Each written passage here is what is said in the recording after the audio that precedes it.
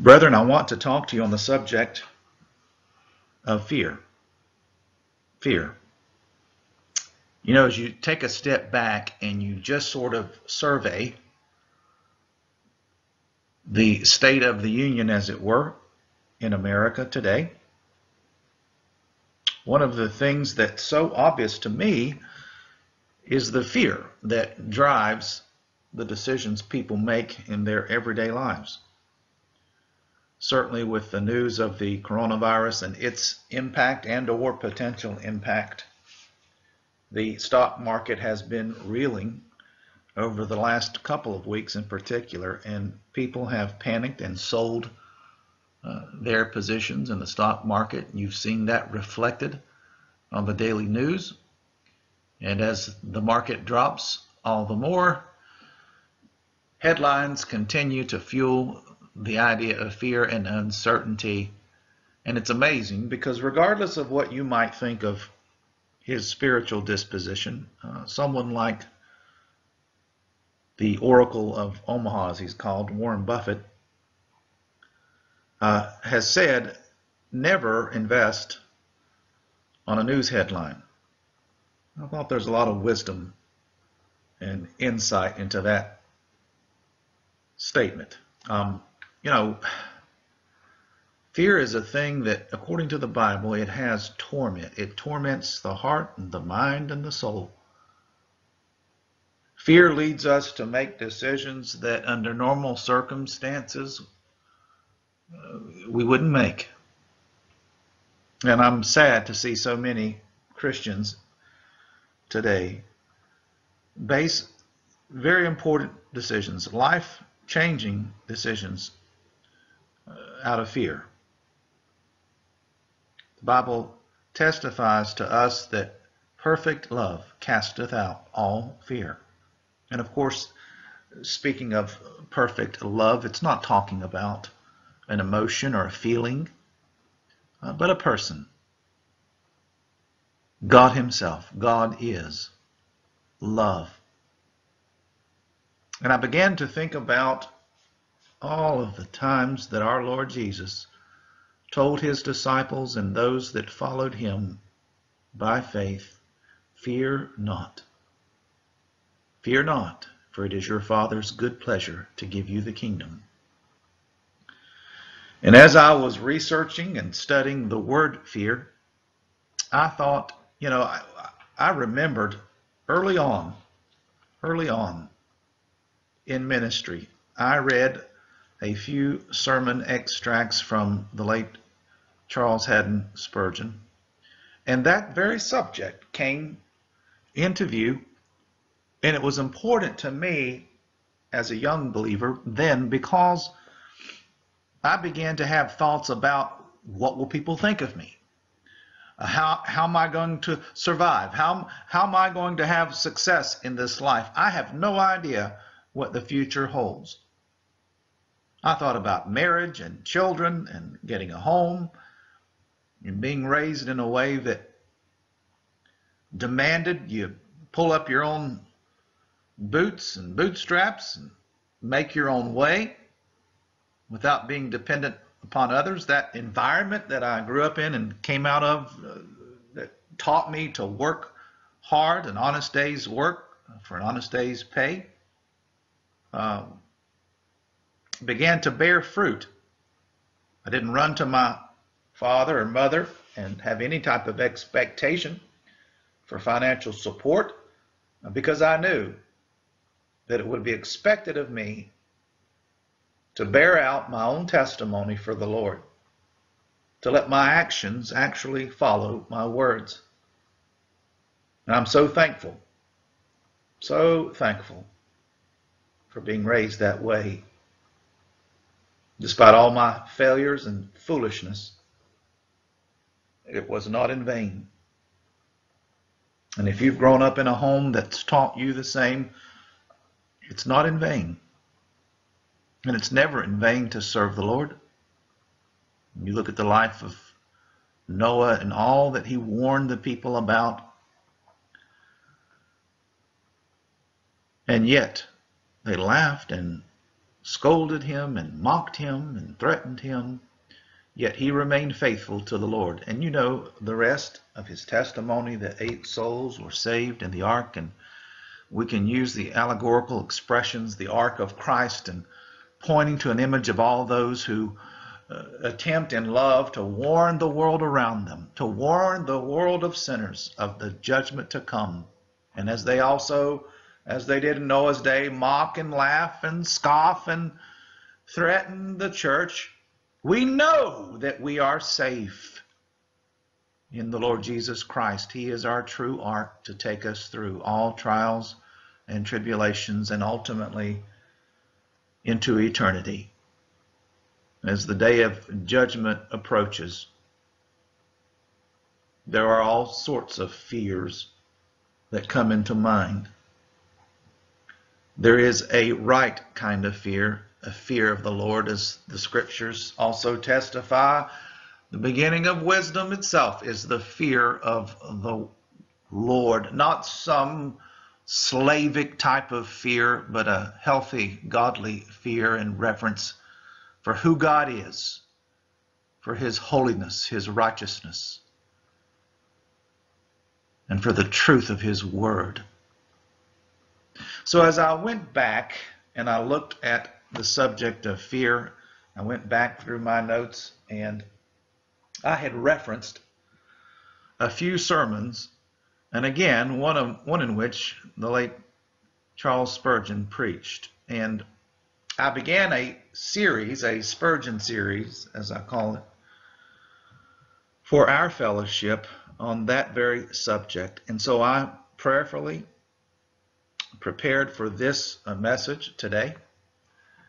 Uh, and it's very unique because I'm going to read for you the sermon itself preached by Charles Spurgeon on March the 9th, 1880.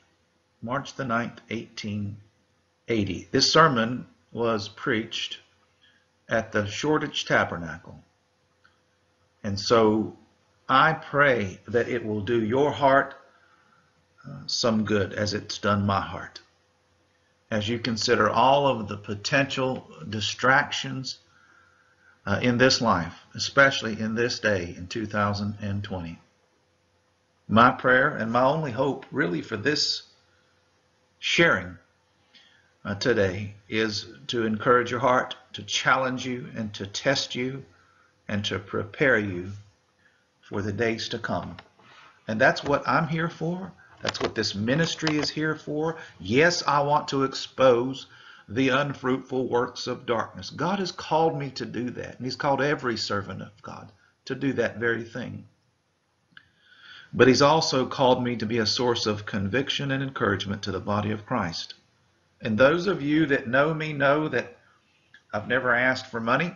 I work, I provide for my family. I've been a financial advisor for over 26 years. I have a small private consulting practice where I help people just simply make smart decisions with their money. And so the Lord has blessed me in that regard and given me the liberty to travel and invest my time and also return the profits from the business back into ministry, uh, which allows me not to have any expectation or demands either to or from the men and women, boys and girls I serve in ministry.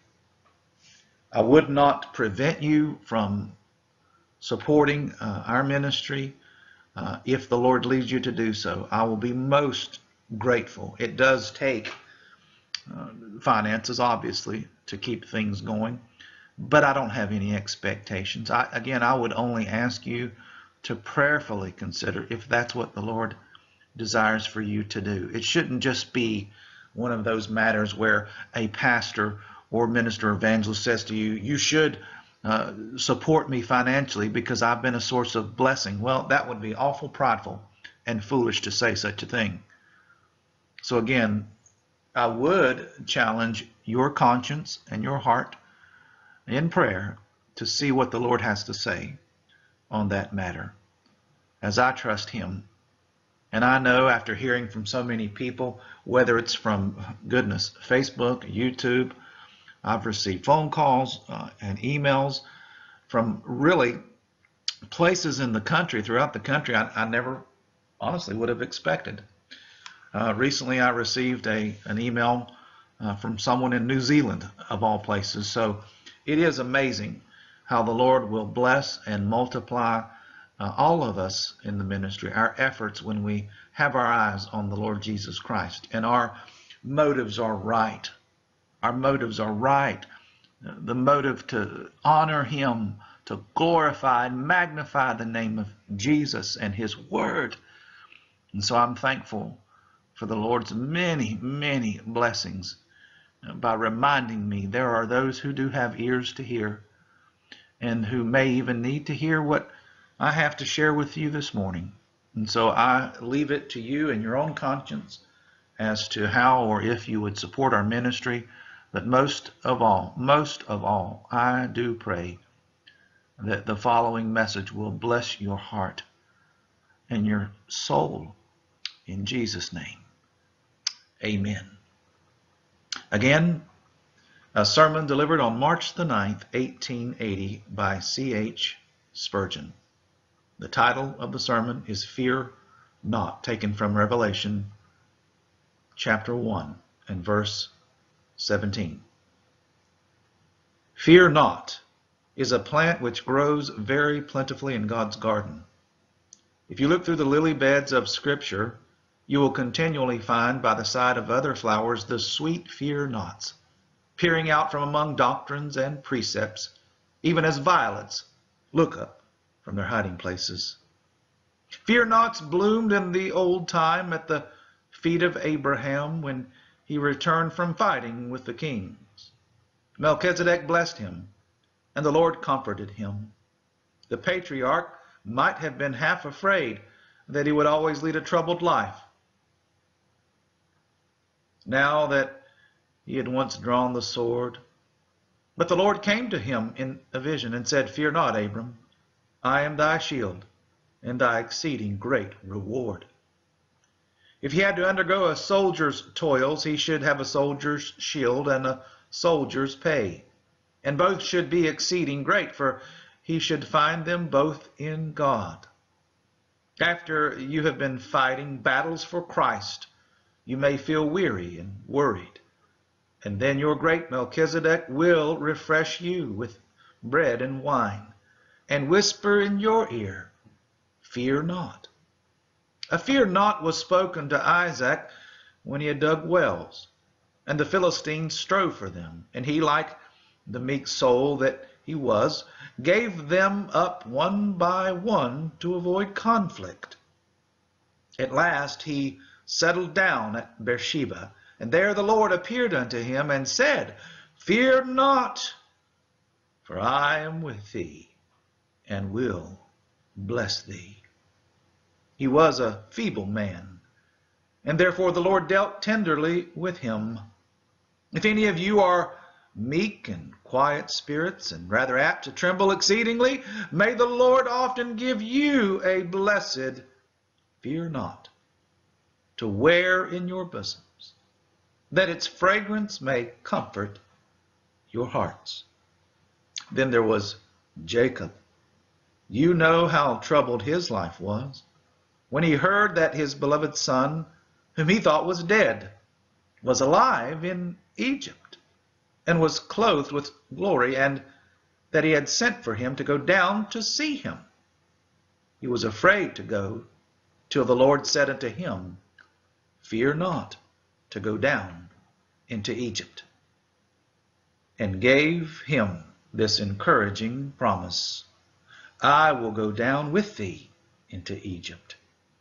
If any of you are making a great change in life and moving perhaps to the very ends of the earth, fear not to go down into Egypt. Should God command you to go to the utmost verge of the green earth, to rivers unknown, to song, if he bids you go, fear not to go down into Egypt for certainly he will be with you. The Israelites at the Red Sea were afraid of Pharaoh. And then the Lord said unto them, Fear not, stand still and see the salvation of God. If you are brought to a pass tonight and know not what to do, take the advice of Holy Scripture and fear not, but stand still and see the salvation of God. As we observe the Scriptures, we perceive that fear nots are scattered throughout the Bible as the stars are sprinkled over the whole of the sky. But when we come to Isaiah, we find constellations of them. When I was a boy, I learnt Dr. Watts' catechism, and I'm glad I did. One of its questions runs thus Who was Isaiah? And the answer is He was that prophet who spoke more of Jesus Christ than all the rest. Very well, and for that reason, that he spoke more of Jesus Christ than all the rest, he is richest in comfort to the people of God. And continually he is saying, Fear not. Here are a few of his antidotes for the fervor of fear. Say to them that are of a fearful heart, Be strong, fear not. Fear thou not, for I am with thee. Be not dismayed, for I am thy God. Fear not, I will help thee. Fear not, thou worm, Jacob, fear not, I have redeemed thee. Fear not, for thou shalt not be ashamed, neither be thou confounded, for thou shalt not be put to shame. And so on. I was going to say, world without end. So abundant are these fear nots that they grow like the kingcups and the daisies and other sweet flowers of the meadows, among which the little children in the springtime delight themselves. As to gathering them all, no one would attempt the task. The bank that is fullest of these beautiful flowers is that which Isaiah has cast up. Go there and pluck them for yourselves. Now I gather from the plentifulness of fear nots, even in the Old Testament, that the Lord does not wish his people to be afraid, that he is glad to see his people full of courage, and especially that he does not love them to be afraid of him. He would have his children treat him with confidence Slavish fear may be thought to be congenial to the Old Testament, and yet it is not so. For there the Lord cries to his chosen, Fear not. When we come into the New Testament, there we see God coming more familiarly to men than ever before, not descending upon Paran with 10,000 flaming chariots, setting the mountain on a blaze, but coming down to Bethlehem in an infant's form, with angels chanting the joyful lay. Glory to God in the highest, and on earth peace, goodwill toward men. The genius of the New Testament is drawing nearer to God, ceasing to tremble and beginning to trust, ceasing to be the slave and learning to be the child. Though in the precise form of it, the words of my text were not very often spoken by the Lord Jesus Christ, yet his whole life was one long proclamation of fear not. I think I shall give you tonight most of the instances in which our Lord himself expressly said, Fear not. And as each one I shall give you will either come from the lip of Christ or else from Christ's own angel, sent to comfort one of his servants, I pray that it may come fresh from God to every tried and troubled believer, that all of us together may receive for our different fears this one same solace from the mouth of the eternal. Thus saith the Lord unto thee, Fear not. Fear not. Our first text you will kindly look for if you have your Bibles with you. I hope you all have them, for I love to hear the rustling of Bible leaves as we do in Scotland, but not often in England. Turn to the book of Revelation, the first chapter and the 17th verse. And there you will read that John beheld the Savior in his glorious array. And he says, When I saw him, I fell at his feet as dead. And he laid his right hand upon me, saying unto me, Fear not, I am the first and the last. Our first fear not meets the dread occasioned by the majesty of our Savior's person. You that know him hold him in deepest reverence, even as John did when at the sight of his divine Lord he fell at his feet as dead. Did you ever think of Jesus as divine? And try to form some idea of his grandeur, his triumph, and his exaltation above the thrones and principalities of heaven? As your soul has extolled him and your mind has expanded with high thoughts of the all glorious Son of God, has it not occurred to you to say within yourself, How dare I think that he is my beloved and that I am his? Could such majesty meet such misery? Could such glory bring itself into union with such insignificance as mine? I know you must have experienced that feeling, and yet you must not yield to it. For our Lord Jesus, although he loves to see your holy all, would not have that reference freeze into a chill reserve or a slavish trembling. No, though he be divine, he invites you to approach him without dread. Great as he is, you may dare to be free with him. Let your Lord be glorious to you, but still let him be near you. Exalt him on his throne, but remember that you sit there with him. However glorious he may be, he has desired that you may behold his glory and be with him where he is. To you hath he given to overcome and to sit upon his throne, even as he has overcome and has sat down with the Father upon his throne. If you have studied the matchless purity of his character with adoring admiration, you must have been amazed at the absolute perfection of his manhood and the glory of his moral and spiritual character.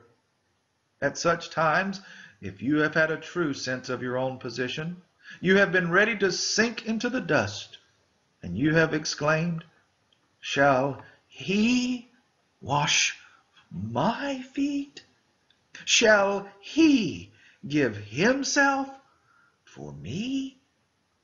Can it be that he could have loved one so stained and polluted, so mean and so beggarly, so altogether unworthy even to live, much less to be loved by such an altogether lovely one?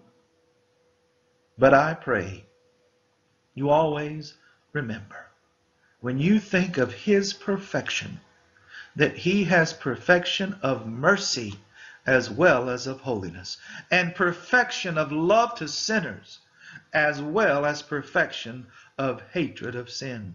And that guilty as you are, you must never doubt his affection for he has pledged you in his heart's blood and proved his love by his death. Albeit that you are conscious of being less than nothing and vanity, and know that Jesus is absolute perfection, yet regard him not with timorous dread, but draw near to him as confidently as a child to its parent, or a wife to her husband. It is one of Satan's temptations to make us afraid of Christ. Let us not be ignorant of his devices. Why should you be afraid of Jesus when he tells you not to be?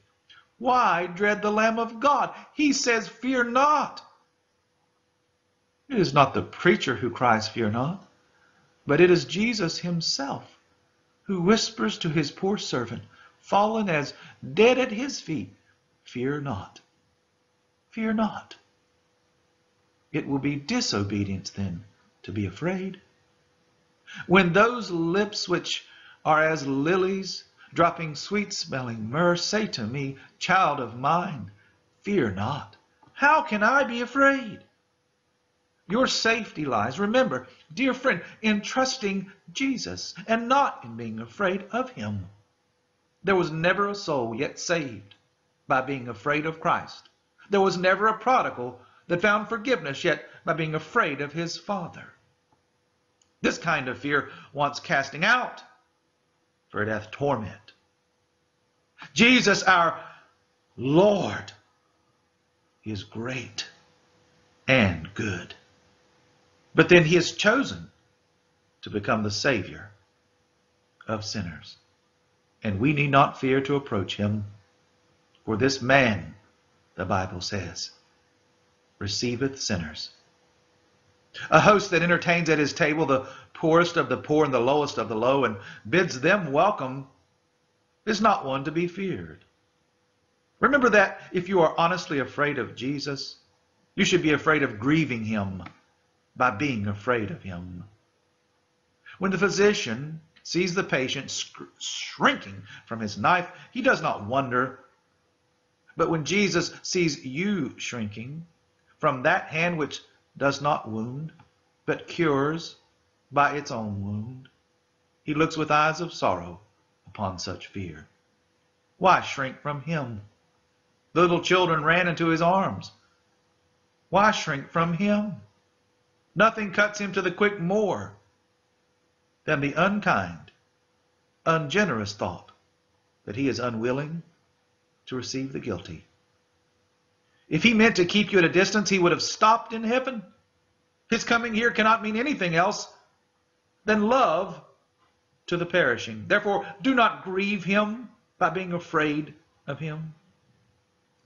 Remember that his truthfulness forbids the rejection of any that ever come to him, since he has pledged his word that he will in no wise cast them out. You need not therefore be afraid that you especially may not come. I had a letter but this week in which one poor soul says, I believe that I am the worst person that ever lived, though not in outward appearance, yet in heart. I believe that all other sorts of people feel more than I do, or have some one point in which they are better than I am. But I, I am the worst of all. And I fear that Jesus will never look on me. Downcast soul. There is no true ground for such a suspicion. If you had a devil in you, you might still come to Christ. If there were a legion of devils in you, and I do not quite know how many made up a legion. But if there were so many that you could not count them, yet you might come with all the devils in hell in you, and he still would not frown upon you, but he would cast the devils out of you. Oh, be not afraid to come to him whose wounds invite you, the blessed Savior, who receiveth sinners loves not that you should stay away through fear. I know what some of you are doing. You are trying to get to heaven by a roundabout boat. The late Emperor of Russia, when the railway was to be made between Moscow and St. Petersburg, employed a great number of engineers in making plans. He looked over many of their maps, and at last, like the practical man that he was, he sat, he said, Here, bring me a ruler. They brought him a ruler. He took a pencil, and drawing a straight line, he said, That is the way to engineer it. We want no other plan than one straight line. There are a great many ways of engineering souls to heaven, but the only one, only one that is worth considering is this. Draw a straight line to Christ at once. Did you hear one awakened soul say, I should like to talk to Mr. Cuff? by all means, talk to him. But do not stop at that, nor stop for that. Go to Christ first. Oh, but I should like to talk with a good woman, a dear Christian lady. I recommend you to go to Jesus Christ at once and see the lady afterwards. It is all very well to have an inquiry room, and I have not a word to say against it, but the best inquiry room in the world is your own bedroom. Go and inquire of Christ straight away. We may make our Christian workers and leaders into little priests if we do not mind what we are at. There must be nobody, nobody between a soul and Christ. Blind souls will never get their eyes opened by all the kind of hands of all the good people in Shoreditch or in all of London. Christ's hands can give sight, and only His. And you may get to Christ tonight. Which way, you say? By no movement of your body, but by a motion of your mind. Turn your thoughts towards Him, your desires towards Him, your trust towards Him. Look to Him and live. May the Holy Ghost lead you to trust Him now, and He will save you. Thus have I tried very briefly to set forth the fear which arises from the majesty of the divine person of Christ, for which he prescribes this cure. Fear not. I am the first and the last. I am he that liveth and was dead, and behold, I am alive for evermore. Do not be afraid of Jesus because of his glory, nor stand back because of your unfitness. You do want a mediator between your soul and God, but you do not want a mediator between your souls and Christ. You may come to him straight away, just as you are. Draw a straight line. Remember that. A straight line from your lost condition to Christ. And let your resolve be, I being lost, trust Jesus to save me, and I am saved. The second fear not is equally precious. Turn to Luke, the eighth chapter and the fifth verse. The chapter we were reading just now. And there you will find that Jairus had a little daughter who was dead. And they said, Trouble not the master. But when Jesus heard it, he answered him, saying, Fear not, believe only, and she shall be made whole. This meets the fear arising out of the desperateness of the case in hand. The little girl was actually dead. And yet Jesus said, Fear not.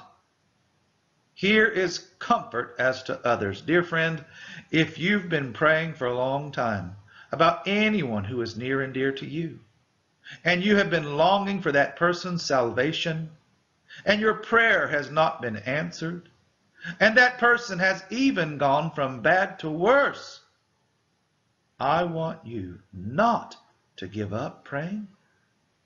Oh, but you say, I'm getting very downcast, for they are plunging into deeper sin. Well, there is a cause for fear, but not while Jesus lives, for he can reach a soul so long as it remains this side of the gates of death. Jesus can still save a man while he is yet out of hell. Continue to pray and fear not. No case is absolutely hopeless while Jesus lives. Love will still prevail. We meet sometimes with amazing instances where prayer is heard at last. I've read of a woman who prayed long for her husband. She used to attend a certain meeting house in the north of England, but her husband never went with her. He was a drinking, swearing man, and she had much anguish of heart about him. She never ceased to pray, and yet she never saw any result. She went to the meeting house quite alone, with this exception that a dog always went with her, and this faithful animal would curl himself under the seat and lie quiet during the service. When she was dead, her husband was still unsaved, but Doggy went to the meeting house. His master wondered whatever the faithful animal did at the service. Curiosity made him follow the good creature. The dog led him down the aisle to his dear old mistress's seat. The man sat on that seat. The dog curled himself up as usual. God guided the minister that day. The word came with power. And that man wept till he found the Savior. Never give up on your husband's good women, for the Lord may even use a dog to bring them to Christ when you are dead and gone. Never give up praying, hoping, and expecting. Fear not, believe only. You shall have your heart's desire. Pray for them as long as there's breath in your body and theirs. It is of no use praying for them when they are dead. But as long as they are here, never cease to plead with God on their account. Persons have been converted to God under very extraordinary circumstances. Two base fellows thought to rob the house of a godly man, the vicar of the parish, who was accustomed on Sunday evening to gather his poor people together in his parlor and preach the gospel to them. This was a little extra work after the day's services. The thieves thought that if they could get into the house with the people during the evening and hide themselves away, they could rob the house easily during the night. And so they got into the next room, that in which the word was preached. But they never robbed that house. For through the godly vicar's address, the Lord Jesus Christ stole away their hearts, and they came forth to confess their sin and to become followers of the Savior. You don't know how far the arrows of the conquering Savior may fly. Never despair. Jesus Christ comforts you in reference to the souls of those for whom you are anxious by saying, Fear not, believe only. They shall be made whole. Labor for them, pray for them, and believe that Jesus Christ can save them. Let the same truth be fully believed as to yourselves. Oh, my dear hearer, you may think you are too far gone for salvation, but you are not. You may imagine that your case is altogether a lot out of the catalog. But you are just the sort of person that Jesus Christ saves. If he never saved odd people, he would never have saved me. For many men judge me to be a singular being. If you are another oddity, come along with me and let us trust in him. If you are the one man that is a little over the line of mercy, you are the very man that Jesus Christ chooses to bless, for he loves to save extraordinary sinners. He is a very extraordinary Savior. There never was another like him. And when he meets a sinner that is extraordinary, and never another like him, he often takes him and makes him one of his captains, as he did Saul of Tarsus, who became Paul the Apostle. I do pray you fear not on account of the greatness of your sin. Be humbled on account of it, but do not despair about it. Are you old in iniquity? Are you deeply ingrained in transgression by long practice in it? Still, doubt not the Redeemer's power. If your salvation rested on yourself, you might despair.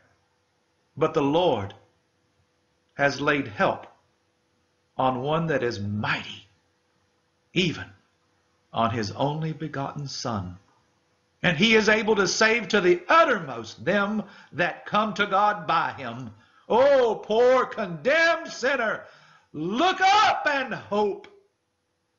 Oh, thou who hast heard the clang of the iron gate, thou who art shut up in despair, have hope, have brave hope.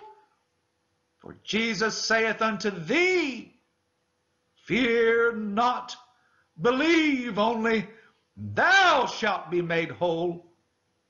God grant that this gracious fear not may be a comfort to some seeker here. Our third fear not is taken from Luke 5th and the 7th verse. And perhaps what I'm about to say will suit Mr. Cuff and other successful ministers. They came and filled both the ships so that they began to sink. When Simon Peter saw it, he fell down at Jesus' knees, saying, Depart from me, for I am a sinful man, O Lord. For he was astonished, and all that were with him, at the draught of the fishes which they had taken. And so was also James and John, the sons of Zebedee, which were part partners with Simon. And Jesus said unto Simon, Fear not, from henceforth thou shalt catch men. This meets the fear which arises out of the greatness of his goodness. If the Lord has made any one of you successful in his service, if you are made of the same stuff as I am, your success lays you low before his throne. Time was when everybody was abusing me. And then I rejoiced and glorified in God. I had happy days when my name was cast out as evil. But when the Lord in his great mercy gave me souls for my hire and began to build up the church at the tabernacle, I became subject thereupon to such sinking of spirits that I can scarcely tell you how crushed I have been under the weight of divine mercy. I should not wonder if my dear brother Cuff has gone home after seeing a crowd at the town hall and after seeing this great house full, and has said, Lord, why hast thou been pleased to use me and to favor me? If any of you are blessed in your work, as I trust you may be, you may also be made to feel the mysterious depression which takes the place of self exaltation in those who know that every good gift comes from God alone. Fear, because of the Lord's great goodness, also comes in another shape. A person says, I believe that I am saved, for I have looked to Christ and I am lightened. And yet, can it be? The thought suggests itself, it is too good to be true. Now look, you sirs, if it were not supremely good, it would not be true. It is because it is so excessively good that it is true.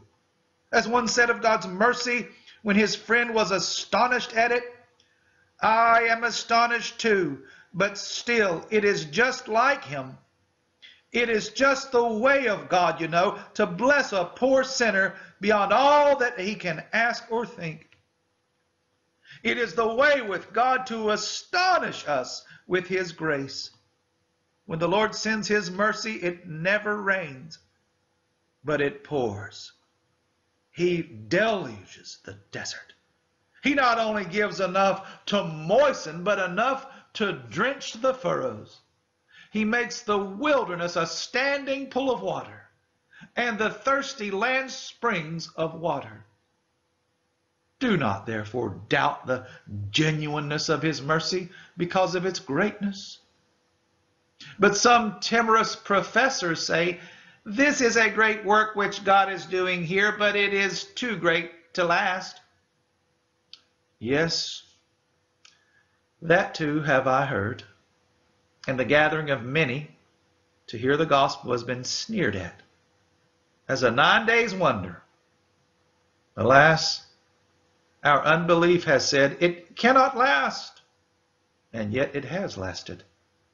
The path of faith, to my mind, is very like that of a man walking on a tightrope high up in the air, and you always seem half afraid that he will fall.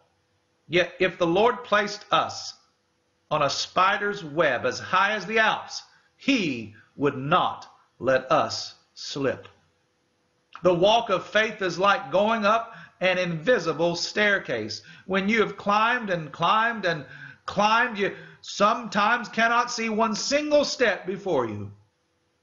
Each step seems to be upon the air. And yet, when you put your foot down, it is solid granite, firmer than the earth itself. There are times when Satan whispers, God will leave you, God will forsake you. He has done all this. Yet he will leave you. Ha ha Oh, but he never will. He never will, for his faithfulness never fails. We must not be like the countryman who, when he had to cross the river, said that he would wait till the stream was dry, for it could not run so fast as that long, but must all run away. We have feared that we should live till the river of God's mercy had run dry, but it never has, and it never will. Some professors say when a great number of sinners are converted, oh, well, you see, there are so many, they cannot all be genuine. That is why I think the work to be real. When I see a little peddling work of one every now and then, I am far more inclined to say, well, I don't know. It may be of God, but it is not a very great affair, and he generally does things when his spirit is poured out. But when I see him calling 3,000 in one day, I say, this is the finger of God. I am sure of it. I would be the last to despise the day of small things, but I must also speak up for the day of great things. I've noticed that those who are added to the church at times of revival are people that hold on quite as well as others, and I think better than others. That is my experience, because at other times we are apt to say there are so few coming forward. We must not be quite so strict in examining them. But when there's a great number, we feel that we can afford to be particular. We are naturally more strict. I do not justify this, but I am sure that the tendency exists. I believe in a great work.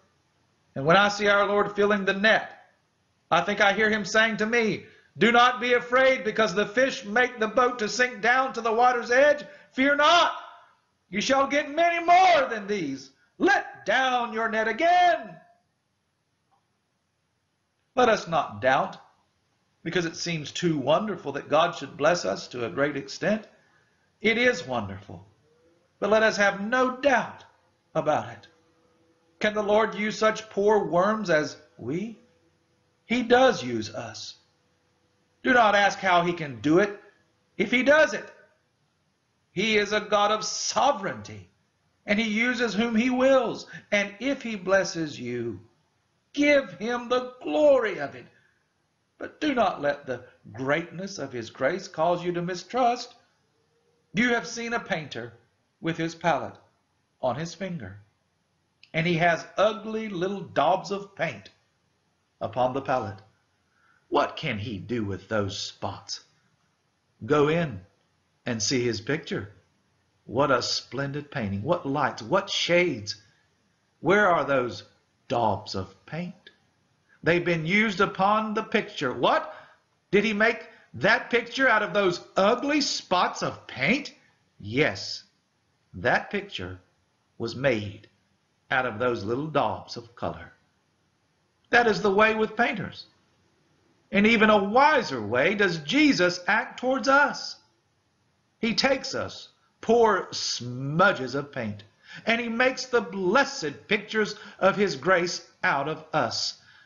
For it is neither the brush he uses, nor the paint he uses, but it is the skill of his own hand which he does it all, and unto his name be the praise. Now, poor worker, do not be afraid. The great artist will take you in hand and make something of you. I forget how much can be made out of a pennyworth of iron, but I do know that there are methods by which a pennyworth of iron can be so molded and wrought and fashioned that it can become worth a hundred times what it was before it ever became in the manufacturer's hand. What the Lord can make of such poor creatures as we are, who shall tell? He says, Fear not, and I pray you do not fear. You who make up the church in Shoreditch, do not be afraid, because the Lord fills this great house. Beckon to your partners that are in the other ships to come and help you. Help those round about to fill their boats, and may God send you a long and continued revival of religion in this whole region. Let not the old folks get frightened at the Lord's glorious working. Believe in it and rejoice. Why, if the Lord were to convert 3,000 in one day in any place, there are numbers who would say, I do not believe in it, for I never saw anything like it. Many churches would say, We do not think that we ought to take them in just yet. At Pentecost, they baptized converts the same day. You see, the church was ready to baptize them. We have no church in England that would do that. I fear not one. And we have no Christian people who would approve of it if it were done. But they would, as a rule, murmur that it was rash enthusiasm and an ill advised haste. I believe in the Holy Ghost. We say that. But do we really believe it? God grant that we may. God grant that we may. But now I turn to a fourth, fear not, which we may find it in the 10th of Matthew, the 28th verse. I will not turn to it, but I will just tell you of it because there are many of you here who need its comfort. Fear not them which kill the body, but are not able to kill the soul, but rather fear him which is able to destroy both soul and body in hell. This is meant to remove the fear arising out of sharp persecution. In a region like this, when a working man is converted to Jesus Christ, his friends and his neighbors soon find it out. And I am sorry to say that working men, as a rule, do not treat Christian men fairly. They used to say in America, it is a free country. Every man may whip his own slave, and so it is here. It is a free country. Every man may swear at his fellow workman for worshiping God.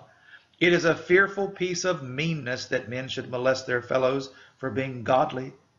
If you have a right to swear, I have a right to sing psalms. And if you have a right to break the Sabbath, I have a right to keep it. And I have a right to go in and out of the worship without being called ill names because I live in the fear of God. But the right is not always recognized. Some have to run the gauntlet from morning to night because they serve the Lord. Now, my dear brothers and sisters in Christ, do not be afraid though you are nothing but poor sheep and are sent out in the midst of wolves. Does it not seem as if your Lord could hardly have known what he was at when he said, Behold, I send you forth as sheep among wolves? Yet he made no mistake. Just think about it for a moment. How many wolves are there in the world now? They have been eating up the sheep ever since they had a chance. But are there more wolves or more sheep alive at this day? Why, the wolves get fewer and fewer every day till when a wolf comes down into the inhabited lands in France. We have it reported in the paper. And we have not one animal of the kind in this country wild, though they used to abound here. The fact is, the sheep have driven out the wolves. It looked as if they would eat the sheep up, but the sheep have exterminated them. So it will be in the end with defenseless believers and raging persecutors. Patient weakness will overcome passionate strength. Only be patient. You have an anvil in the shop, and you know how hard the hammer comes down on it. What does the anvil do? Why, bears it. You never saw the anvil get up and fight the hammer? Never. It stands still and takes the blows. Down comes the hammer, but listen, how many hammers have been worn out to one anvil? Where it has stood for years. The old block of iron remains, ready to bear more strokes. The hammers will break, but not the anvil. Be you an anvil, brother. Be you an anvil, sister. Be you the sheep. Still, for heavenly submission shall win victory, and patient non resistance shall come off more than a conqueror. Do not fear, I pray you, so as to conceal your testimony. Tell out for Jesus Christ what he has done for you. And the more they blaspheme and persecute you, be you the more determined by God's grace that they shall not be able to find fault in your character, and that they shall know that you are a Christian man and woman. Climb up the mast and nail the colors to it. Drive another nail tonight. Fix the colors to the masthead. Say, No, never by the grace of God will I be ashamed of being a Christian.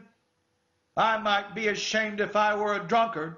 I might be ashamed if I were a swearer, but I will never be ashamed that I am a follower of the crucified Son of God.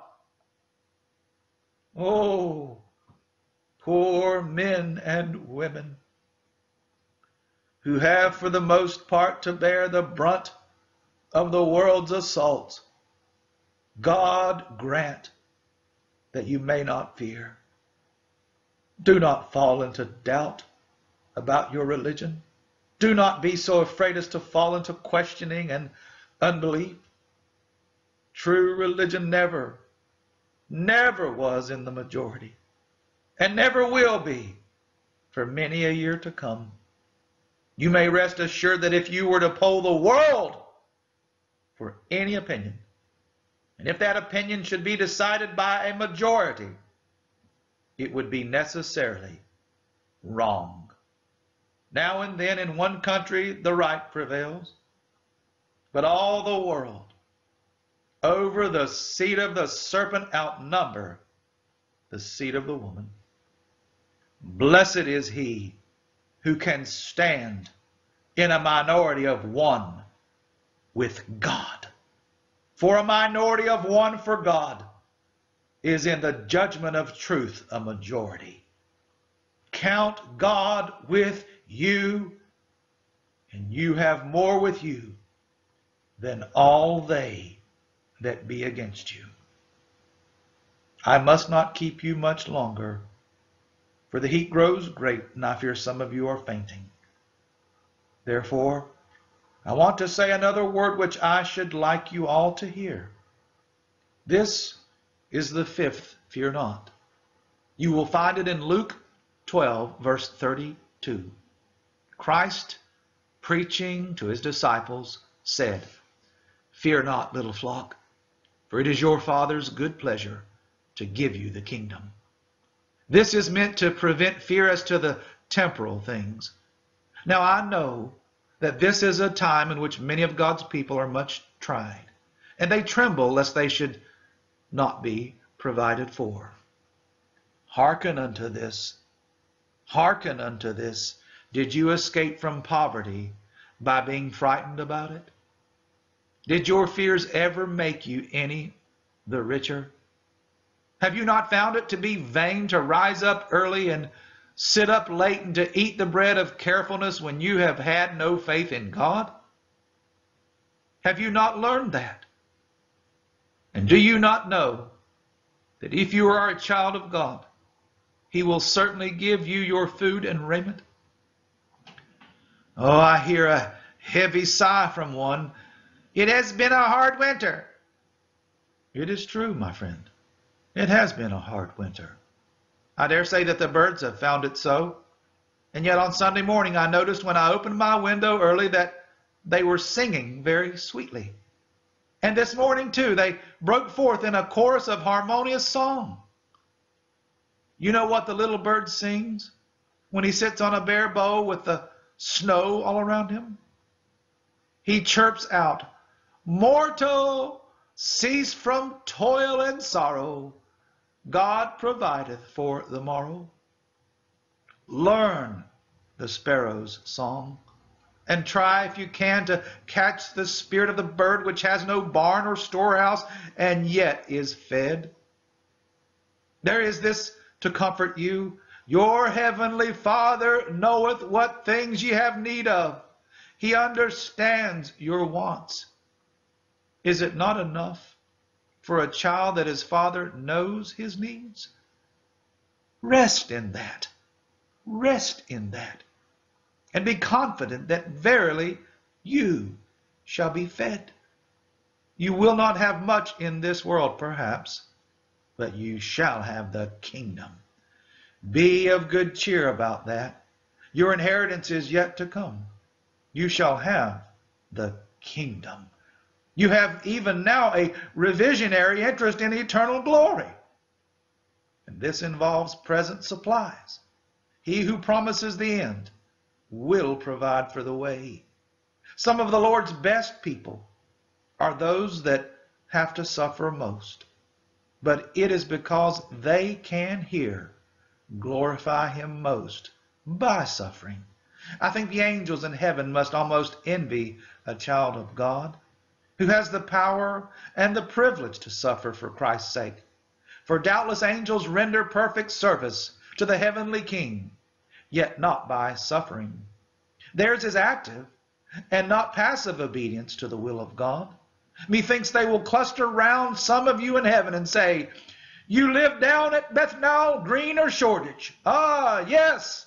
The angels will say, What sort of place did you live in? One dark room you were very poor. You were out of work. And yet, you did trust in God. The angels will be pleased as you tell them, Oh, yes, we went to the Heavenly Father still. And we said, Though he slay me, yet will I trust in him. That is the grandest thing that a man ever did say. At least I think it is. Mr. Cuff says some fine things, but he never uttered a nobler sentence than that. Though he slay me, yet will I trust in him. The expression is sublime. When Job had lost everything, after being immensely rich, he sat down on a dunghill and scraped his sores, and he said, Naked came I out of my mother's womb, and naked shall I return thither. He was reduced to the most abject want, and yet he added, The Lord gave, and the Lord hath taken away. Blessed be the name of the Lord. Ye cherubim and seraphim, in all your songs, no stanza excels that heroic verse. Angels cannot rise to such a height of sublime devotion to the invisible one as Job did when in his misery he glorified his God by abiding confidence. Oh, you that are brought very low, you have grand opportunities for honoring God if you will but trust him. Fear not. Fear not. And he will give you spiritual food too. When God saves his people, he gives them spiritual food to live upon till they get to heaven. God does not give us treatment like that which the Duke of Alva measured out to a city which, had, which he had surrounded. He agreed to give the inhabitants their lives, but when they complained that they were dying of hunger, he maliciously replied, I granted you your lives, but I did not promise you food. Our God does not talk so. He includes in the promise of salvation all that goes with it. And you shall have all you really want between here and heaven. Wherefore, fear not. Fear not, Paul. Thou must be brought before Caesar. And lo, God hath given thee all them that sell with thee, the Lord said. So I pray, God, that all perils in the future, all imminent ills and dangers which surround you now, may not cause you to fear. For the Lord will not suffer a hair of your head to perish, but he that has made you will bear you through and make you more than conquerors too. Tried people of God, rest in the Lord and your confidence shall be your strength. You have often heard of the boy on a board ship in time of storm, who was the only person that was not afraid. When they asked him why he did not fear, he said, Because my Father is at the helm. We have still better cause for casting away all fear. For not only is our Father at the helm, but our Father is everywhere, holding the winds and the waves in the hollow of his hand. No trouble can happen to you or to me, but what he ordains or permits. No trial can come but what he will restrain and overrule. No evil can happen but what shall certainly work for good to them that love God. Therefore, be not afraid. What though the howling tempest yell and the ship creak and groan as she labors among the waves, and you think that nothing but destruction awaits you? Fear not. Let not fear linger for a single moment in the presence of the eternal Christ, who says, It is I. Be not afraid. May God grant that his own fear not may go home to the heart of everyone here present in some form or other. And unto his name be glory, world without end. Amen. Father, I thank you for the remaining testimony we have through this sermon on the subject of fear not. That you blessed by the hands of your faithful servant, Charles Haddon Spurgeon.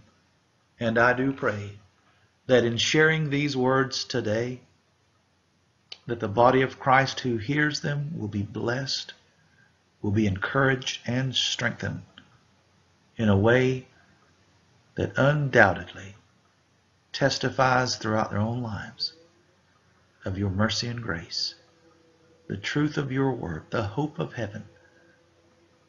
Father, let it be well with our souls today. Cast out all fear. Set our eyes upon Christ. Fill our hearts with hope. Help thou our unbelief and use us to be a source of encouragement